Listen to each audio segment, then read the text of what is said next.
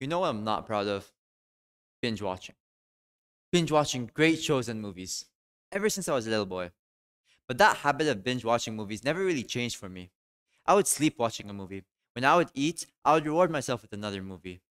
Most of my life, it was just me watching movies. But on a certain day, back in early middle school, I was laying on my couch with my iPad, as every middle schooler does, right? Relaxing, with no homework, and I came upon this quote from the film Now You See Me Too. This one line out of thousands of lines of shows and movies that changed my point of view. It said, quote, seeing is believing, but is it truth? Depends on your point of view. Look, I had this need to understand this quote, and after a while, it clicked. Everything I've ever watched was based off of my own imagination. I was the one who made all those stories true to me. Again, I was not really a proud binge watcher, but ever since that day, I was never a binge watcher again. I was an active, breathing, listening, and attentive watcher. To begin my journey of being an attentive watcher, let's take a trip down memory lane. This, this is me. You can't really tell who I was in this photo, but let's talk about the shows I used to watch. Firstly, Caillou. Caillou is about a little boy who lives with his family and has a regular life, just like five year old me here. But Caillou wasn't just any regular boy. No, no, no. He was a kind one, a kind one who had a strong bond with his family. This made me. Okay, maybe not the show alone, but part of me developed while watching this show. I love my family.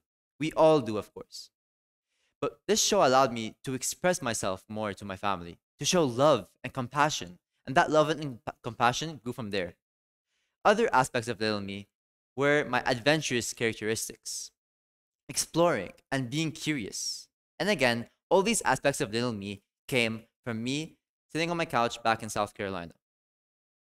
But with two new shows Little Einsteins and Curious George.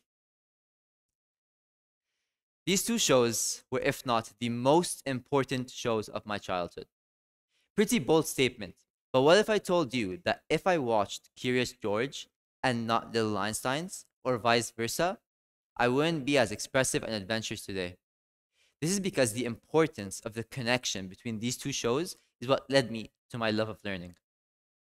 Little Einsteins was about a, a, group of kids, just like me, a kid.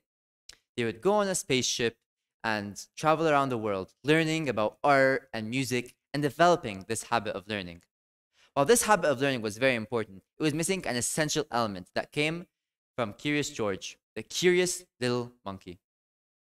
George had such an influence on me because he taught me the importance of being curious for my learning. And this curiosity, curiosity is what led to my love of learning, my love of film, and the reason why I'm speaking to all of you here today.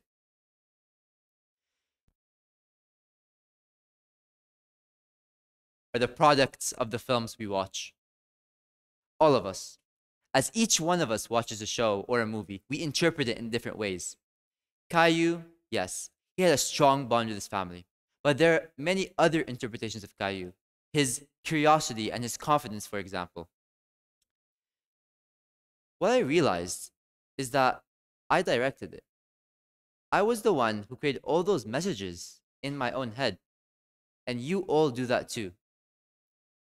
The directors of the shows and the movies are not the directors of the messages. The directors have a plot, but you drive that plot in your head.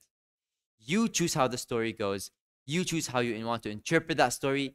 You choose that subconsciously. And from now on, watch shows and movies not only as a leisurely activity, but also as an opportunity to direct your newest self. Thank you.